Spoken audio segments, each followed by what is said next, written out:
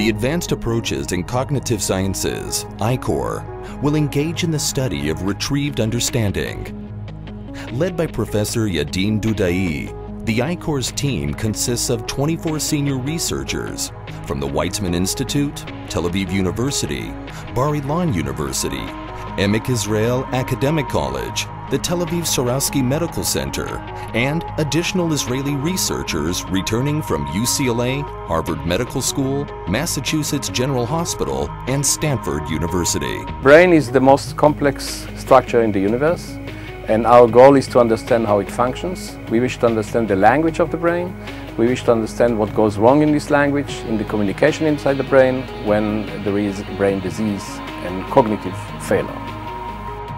The I-CORE's approach is to develop new capabilities to monitor electrical activity in networks of nerve cells in the brain while thinking, imagining and behaving, integrating the intercepted messages over time and space, and correlating them with specific cognitive states, emotions, and actions. In our center, we combine an unmatched set of uh, professional expertise and of uh, technology which will enable us to understand how specific areas in the brain observe specific behaviors.